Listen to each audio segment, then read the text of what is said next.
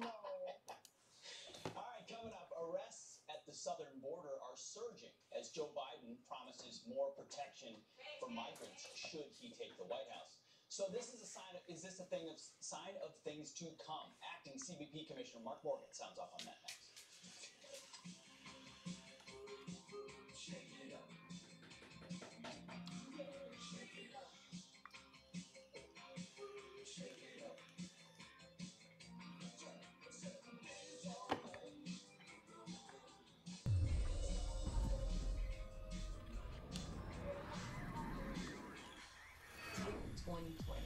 Now it's our time. Time to get away to a place where we can finally be free.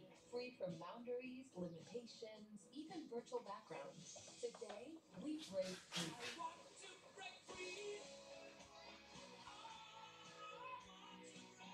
Ready to break free? Plan your future getaway with Norwegian Cruise Line. Sail safe. Feel free.